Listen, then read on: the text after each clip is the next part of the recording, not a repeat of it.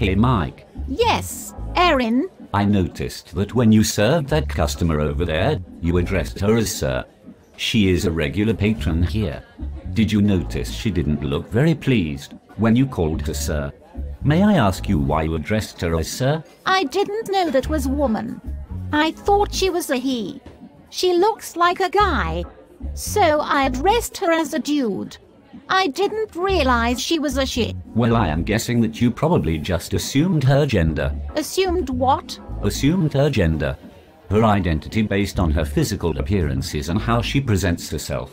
It's common for a lot of people to assume that just because somebody who appears to be dressed in so-called men's clothes and appears masculine, they are or should be referred to in masculine pronouns, that they are a man, and that you should address them as sir.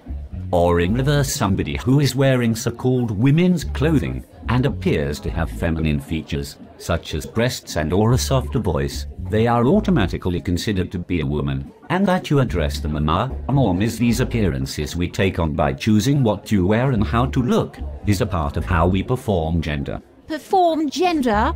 What's that mean? Well, a simpler explanation. In regards to this situation, performing gender in the case of appearances is how we consciously decide what clothes to wear, makeup to use, and hygiene products to use, based on cut, color, and what our sex is.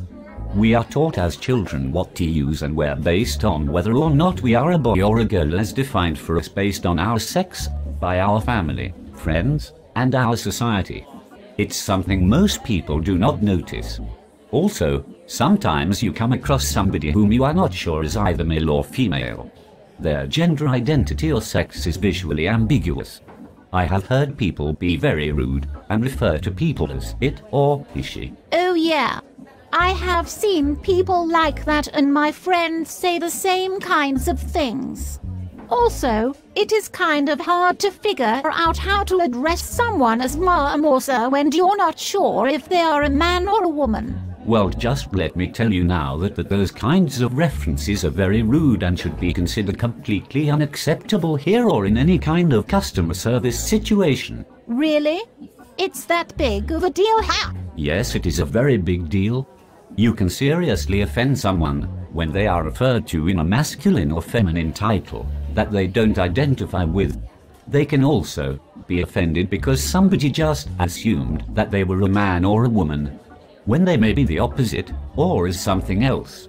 Or try this on for size. In our society we are raised only to recognize two binary sexes and genders that being male slash female or man slash woman.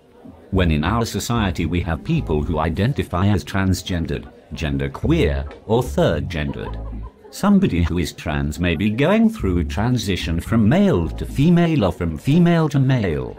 By making the mistake in referring to them as the gender they do not identify as, based on small things, like for example, you notice and Adam's apple or their breasts, you may completely ruin their day. Yeah, I suppose that would not be very pleasant and very embarrassing. Yes, they may be embarrassed and even worse on our end. We may not even know that we just made that mistake and they are offended, embarrassed, or in the case of someone who is transgendered, insecure because they feel like they are not passing for the gender they are assuming, transitioning into in that matching sex. Wow, I never thought about that. So how could we remedy this situation? I could pay closer attention to appearances before I address someone. No. Do not pay attention to appearances. Just don't address somebody as ma or sir. Just say may or can I help you? Or I'll be right with you folks in a moment.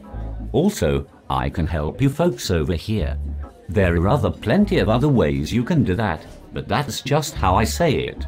If you're trying to get somebody's attention, just say excuse me, so on and so forth. You don't really need to say ma'am or sir. There is no reason you should need to use gendered pronouns when you can address them directly.